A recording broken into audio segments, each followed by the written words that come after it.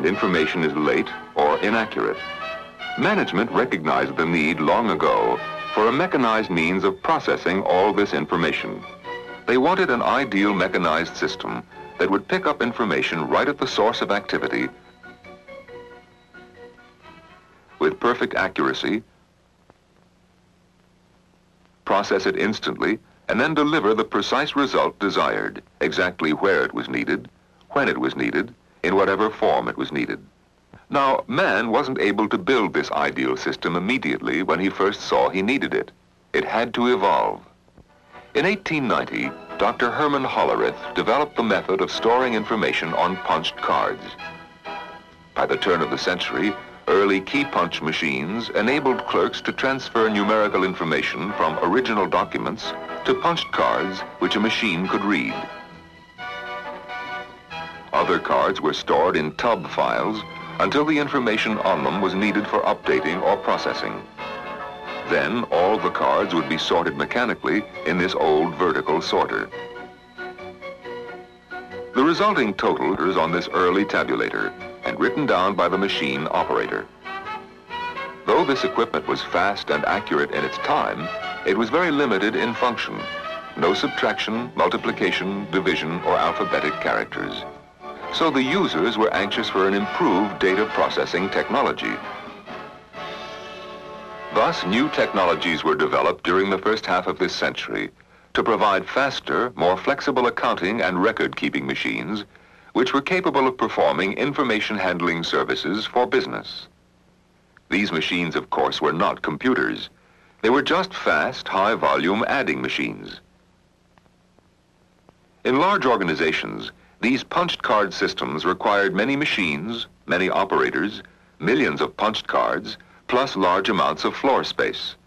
Again, large users began asking for a new technology to process large volumes of transactions and to organize and present facts in a form they could use to better manage the business. Enter the computer and a new age. The Mark I, our first computer, was unveiled at Harvard University. It took another 10 years of development before the first production computer was installed at Monsanto in 1955. The first generation of computers that were installed from 1955 to 1960 were originally designed to do scientific and engineering jobs. Characteristically, they had slow information input and output performance, but their computing power was the marvel of the 1950s. Organizations with large volumes of commercial applications quickly adapted the scientific computers to do payrolls, invoices, and production control work. Once again, the users developed a need for a new technology. Why couldn't we have computers with fast information input and output for commercial applications? Fortunately, there were several major technological breakthroughs in the late 1950s. Transistors and printed circuits were developed with their vastly improved speed and reliability over vacuum tubes and wires. A new automated process for manufacturing magnetic core memory devices made it possible for low-cost computer systems to efficiently sort thousands of records. Card input units, tape drives, and printers now could offer for the first time the speed and versatility needed by large commercial users. The combination of these advances brought about a second generation of computers in 1960 with the delivery of the 1401 system. This second computer generation, with its vast improvements in processing speed and capacity, made extensive use of tape input-output systems, especially for record-keeping jobs. Year-to-date records on tape could be read into or out of computers at the previously unheard of rate of 41,000 characters per second. Besides speed of access, tape could store an enormous amount of information for its size in comparison with punched cards. A standard reel holds 2,400 feet of one-half inch wide tape and can contain data equivalent to about 400,000 fully punched cards or 200 card boxes filled with punched cards. This single reel of customer billing records includes account numbers, names and addresses, previous and present readings, rate, accounts receivable amounts, including arrears, separated by gas and electricity, and the net and gross bill totals. The second generation made another breakthrough. For the first time, a user had families of computers to grow within, which greatly reduced the problem of reprogramming when a larger computer was necessary. We had the 1400 family for commercial applications. The 7000 family was mainly used by the scientific community. And a new 7740 computer family was developed to do message switching applications. Now, what did all this advancing technology mean to a user of manual or punched card equipment in the early 1960s when he faced the decision of converting to the new tape-based computer systems? First of all, it meant a tremendous saving in space. A typical card system user had key punches, verifiers, collators, sorters, reproducing punches, accumulating reproducers, interpreters, accounting machines, and a calculator with attached punch and storage units. Upon the introduction of the 1401 tape system, much of this equipment was no longer required.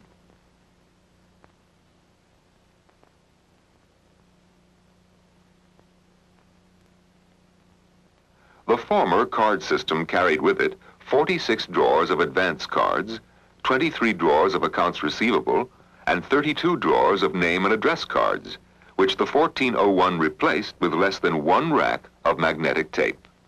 The reduction of procedural steps is equally dramatic. Customer billing on the old card-based equipment involved 21 separate machine passes to produce the customer bill, the new advance card, and revenue analysis. The 1401 system did the same jobs in just seven machine steps. But in spite of these tremendous increases in computer efficiency, the ideal mechanized system still had not arrived. However, the early 60s brought a whole new revolution in technology. It resulted from a breakthrough into the world of the super small, the world of solid logic technology.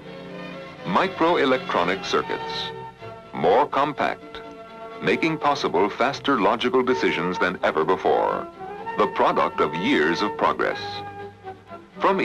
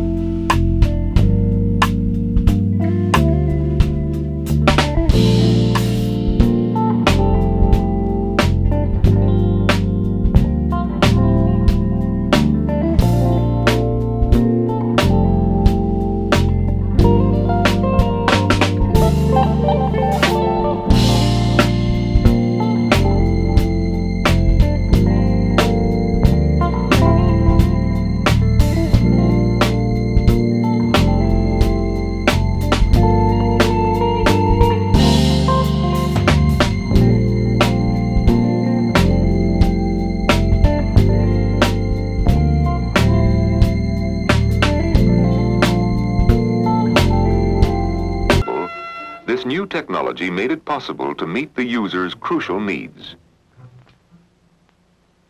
And in 1965, the first of these third-generation computers with solid logic technology were delivered to the users. One computer family for commercial, scientific, and communications applications.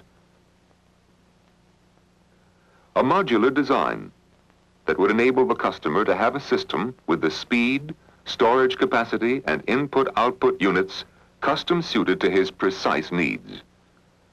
The flexibility of being able to add on or remove peripheral units readily as his needs change. Compatibility between second-generation programs and third-generation technology. Training of the user's professional staff on one system rather than several families of computers. And, most important, better cost performance. Here we see a System 360 central processing unit surrounded by its input-output devices, the card readers, magnetic tape drives, disk drives, and remote terminals. Also, there are control units and buffers that manage the data flow between the input-output devices and the central processing unit.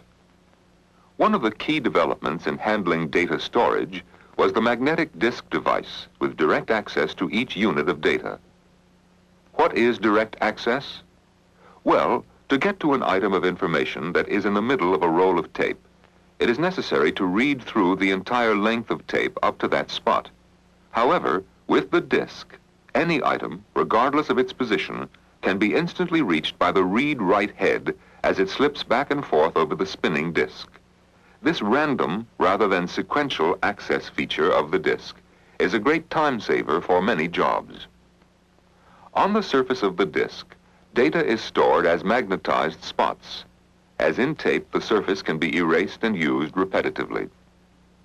These devices generally come in disk packs, each capable of recording several million information characters. By using many banks of disk drives, the storage capacity is multiplied to billions of characters.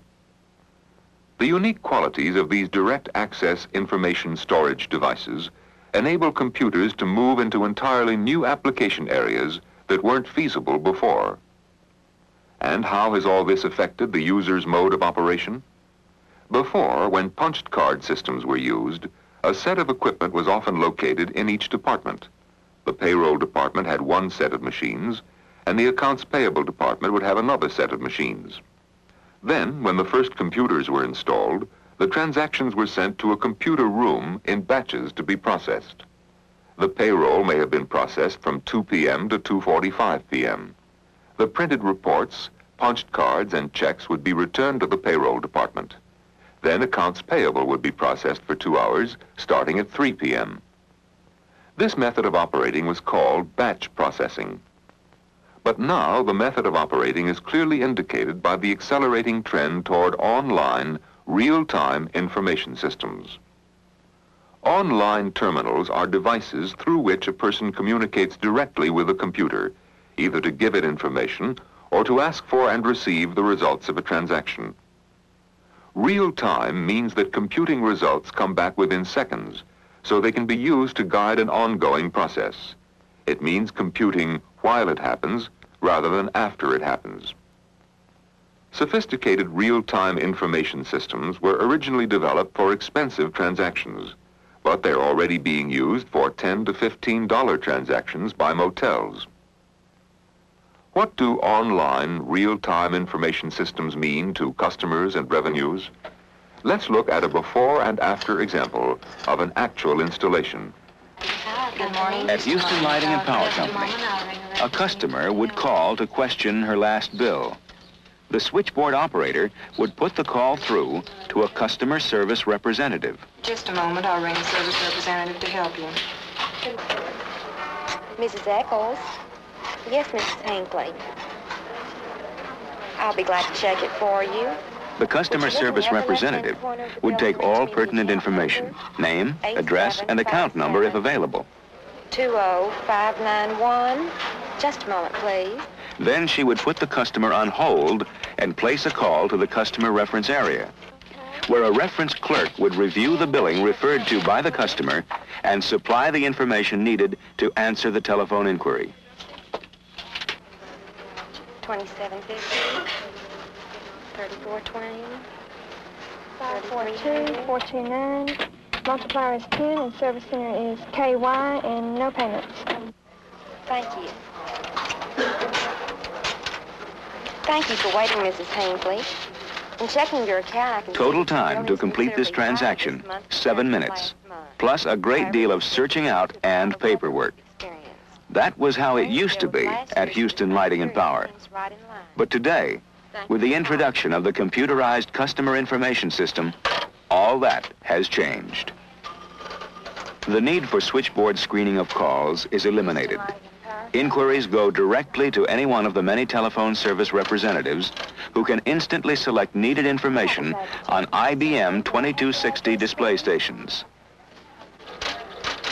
A standard request, HB, history of billing. Now, however, answered with the aid of a computer system. The initial entry instructs the computer to search out and display record information, any one of which may be selected, displayed, modified, and restored instantly. Count, Mrs. Hinckley. I see that this month's bill is considerably higher. Not only speed, but verified accuracy ensure customer satisfaction no matter what the problem. This period of time your bill covers. Yes, ma'am, and thank you for calling. Probably the most dramatic of all the changes brought about by the introduction of the new customer information system is in the handling of what used to be a frequent and time-consuming operation a simple request for a cut-in of service. Again, in the past, the call would come in first to the main switchboard. Good morning, Houston Lighting and Power Company. Just a moment, and I'll ring the service representative to help you. Mrs. Young, may I help you?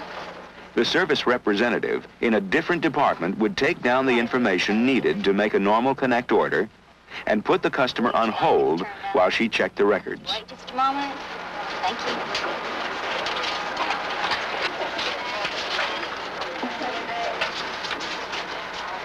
Mrs. Stewart, we'll take care of this for you Monday. Thank you for calling. Total time so far, five minutes or more.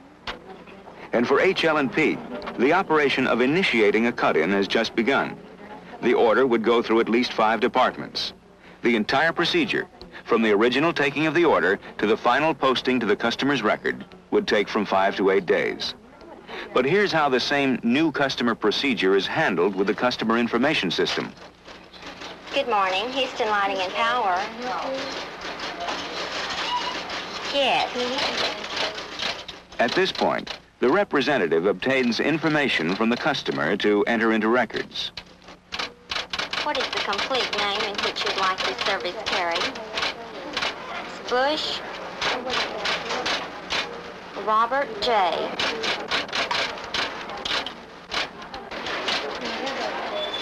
Miss Bush, your service will be connected today. Thank you very much for calling. And that's it. In less than two minutes, Mrs. Bush is assured of electric service the day she called for it. And because Mrs. Bush is a new resident of the Houston area, the system will also produce a Welcome to Houston letter. The computer now has all it needs to go to work.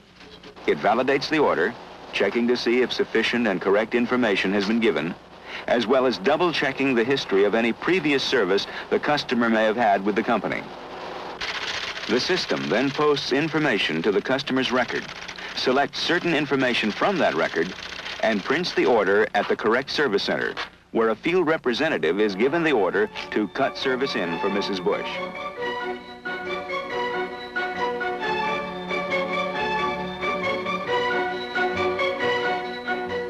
How fast is technology moving?